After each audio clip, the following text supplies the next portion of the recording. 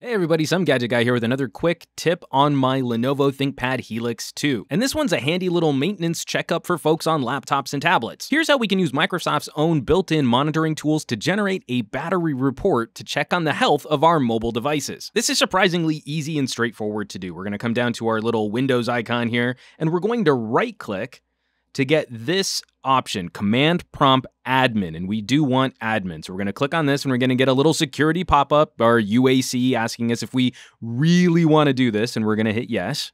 And then we're going to enter in a battery report command in this prompt. So I'm going to pull up my notepad where I've got this saved. And this is actually one of the handy things about Windows 10 is we can now copy and paste into our command prompt.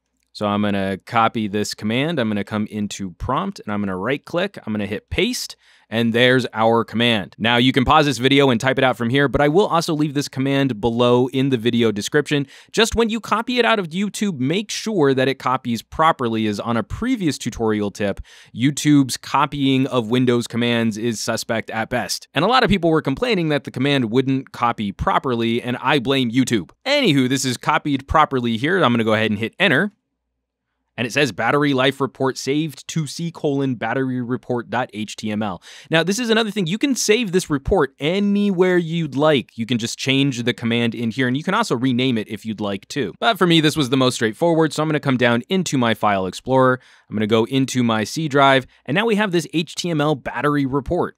Gonna open this up.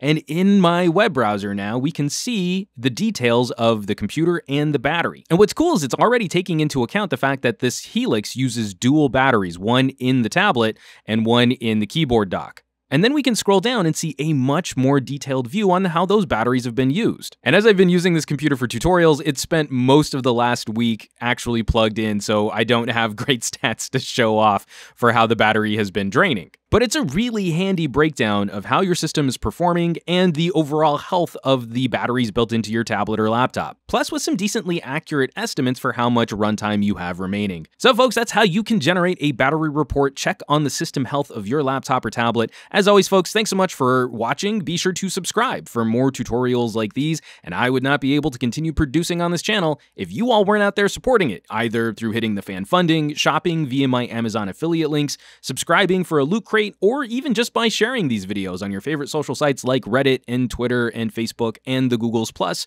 So please keep bringing more cool people to the party. Hit that thumbs up button, and I will catch you all on the next tutorial.